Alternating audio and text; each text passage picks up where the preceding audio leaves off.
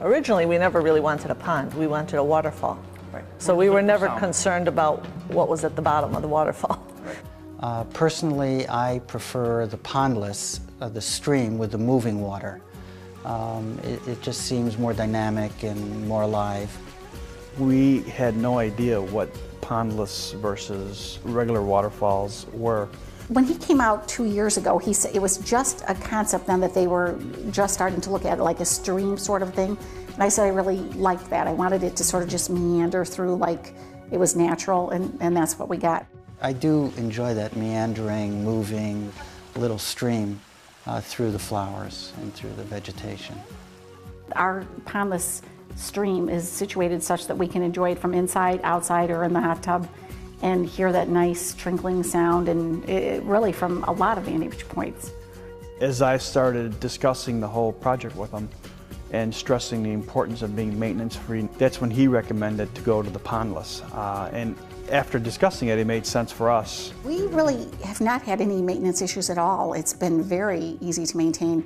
We take the leaves out of the pondless system, which you know only happens really in the fall, and we leave it running all four seasons. It's it's truly been very maintenance free.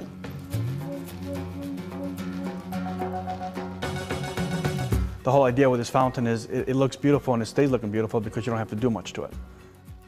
However it works, um, you know what? As far as I'm concerned, I don't want to know.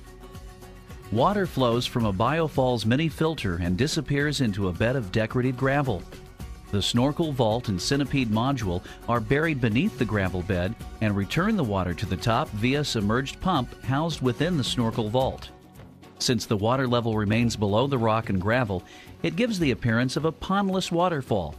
I like the fact that the pondless system is shallow and you can nobody could ever get hurt in it, and you can actually walk up and down it.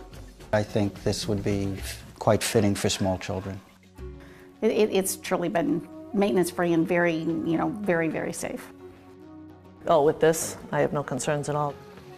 Overall, it, it's, it's turned out, I think, I think actually beyond what our expectations as far as the look and also the sound.